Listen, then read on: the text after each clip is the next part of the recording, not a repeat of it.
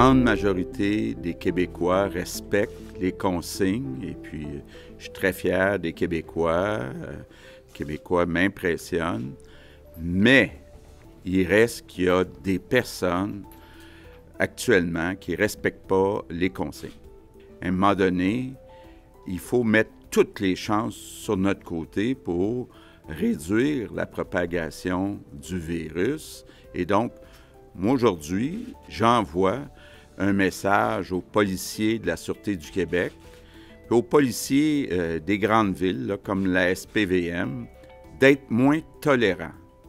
Je pense qu'on ne peut pas, actuellement, accepter qu'il y ait des gens, une grande majorité, qui fassent des efforts, puis que ces efforts-là euh, soient euh, anéantis parce qu'il y a quelques personnes qui ne prennent pas ça au sérieux. Les policiers vont distribuer plus d'amendes. Puis je le répète, là, les amendes varient entre 1000 et 6000 dollars par personne.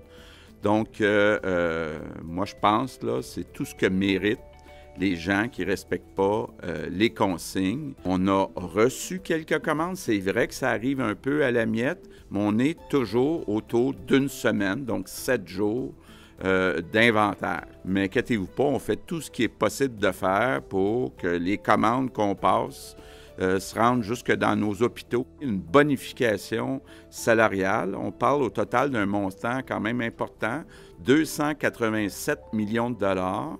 Quand on regarde toute cette bonification-là, là, je pense que j'ai jamais vu un groupe qui mérite autant une augmentation de salaire que ce monde-là.